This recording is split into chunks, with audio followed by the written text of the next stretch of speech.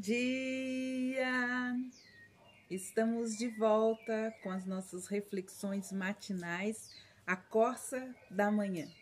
Estamos refletindo a respeito da mente de Cristo, a respeito das, de como nós podemos é, cultivar uma mente semelhante à de Cristo.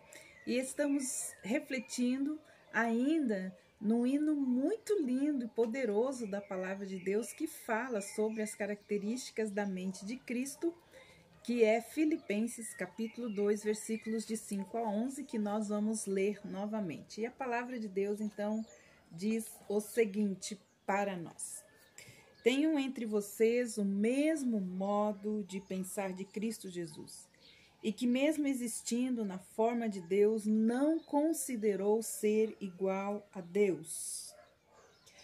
Pelo contrário, ele se esvaziou, assumindo a forma de servo, tornando-se semelhante aos seres humanos.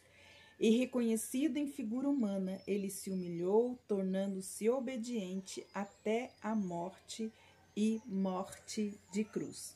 Hoje nós vamos estar então estudando esses dois esses três versículos da palavra de Deus, refletindo a respeito dele. Então, esta quarta e quinta parte desse hino de Filipenses diz: tornando-se semelhante a homens e achado na forma humana. Então, esta característica semelhante à de Cristo é a mente pura, a pureza. Quando Deus se fez homem, ele mostrou então o seu propósito de que os seres humanos tenham grande autoridade e também nobreza. Os seres humanos encontram autoridade e nobreza diante de Deus através de Jesus Cristo, através do sangue poderoso de Jesus, que nos purifica de todo o pecado, de toda a imundícia. A palavra de Deus diz: se confessarmos os nossos pecados, o Senhor é justo para nos perdoar os pecados e nos purificar de toda injustiça.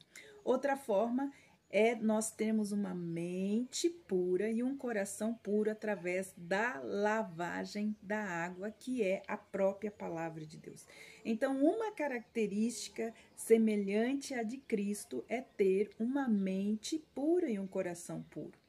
Então, para ter essas duas características, quer dizer, autoridade e nobreza diante de Deus, nós devemos ser puros em todo o nosso proceder. Essa pureza, ela se revela como? No modo como é, nós manifestamos a nossa nova natureza em Cristo, né? Porque quando nós recebemos Cristo como Senhor e Salvador das nossas vidas, quando Ele entra em nossas vidas e nós entramos na vida dele, então é manifesto outra natureza, a nossa nova natureza. Então nós precisamos nascer de novo. Nós devemos então ser, é, quando recebemos Jesus, nós recebemos também uma nova natureza, uma nova mente e também um novo coração.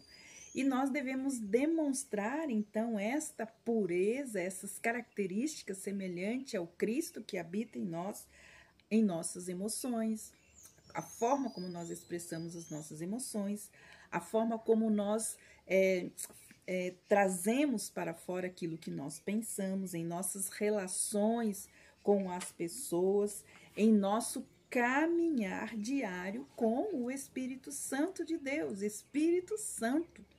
Então, nós devemos andar em santidade. Deus ele está assim trabalhando em nossas vidas para limpar toda a impureza da nossa vida, para estabelecer uma vida pura e santo. É dessa forma que adquirimos através de Jesus, do sangue de Jesus e da própria palavra que é Jesus, grandeza e nobreza diante de Deus. Porque sem santidade, diz a palavra de Deus, que nós não o veremos. A santidade e o amor é a quinta parte, então, desse hino. Importante que a gente entenda como Deus deseja, então, que nós aceitemos a obra do Espírito Santo em nos santificar, né? Primeiro, ele nos trans, Jesus nos transporta do reino das trevas para o reino do Filho do seu amor. Esse transporte né, das trevas para a luz faz com que nós então sejamos separados das trevas. E a partir então desse estado de santos em Cristo, nós podemos sim andar em santidade e amor nessa terra. É dessa forma que nós vamos viver os nossos dias para a glória de Deus. Este caminhar cristão aqui na terra deve ser um caminhar de santidade e de revelação do amor ao Pai e ao Filho. Então, a forma como nós temos de trazer glória para o Pai e o Filho é andando nessa terra em santidade e amor. Então, a quinta parte desse hino fala assim: Jesus humilhou a si mesmo, tornando-se obediente até a morte e morte de cruz. Então, uma das características semelhantes à de Cristo também é ser sensível, ter uma mente e um coração sensível. Jesus, ele se tornou obediente.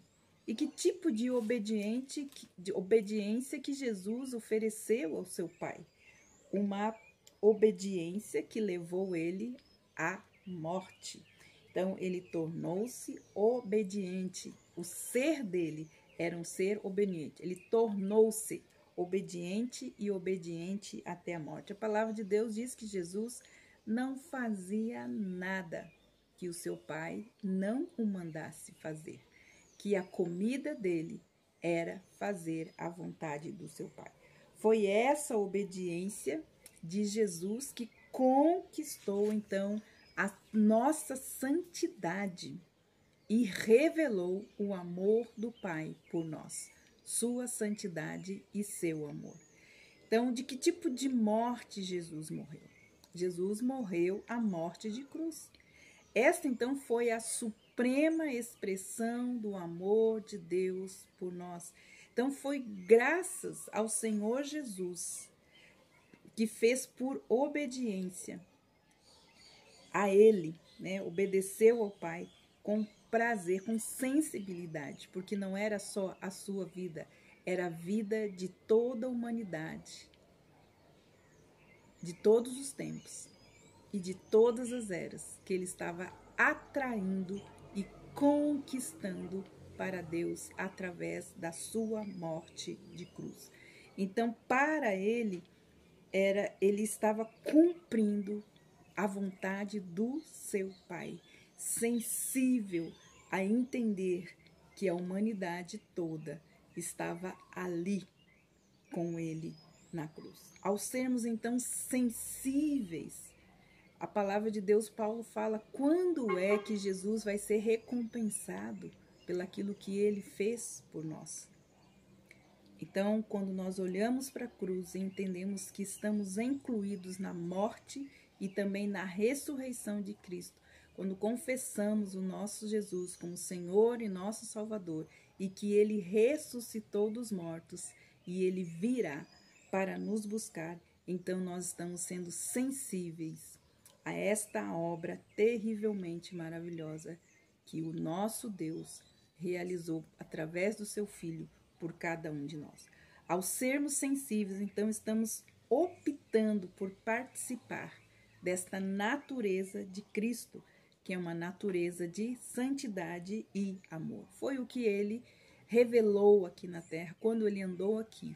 Ele andou no meio dos pecadores, mas ele andou em santidade e revelando amor a eles, a cada um de nós. Deus, por meio então do Espírito Santo, ele está trabalhando para nos santificar e nos ensinar a amar com o amor semelhante ao de Cristo. Que Deus abençoe você. E até amanhã com as nossas reflexões matinais, a Corça da Manhã. Deus te abençoe e até lá.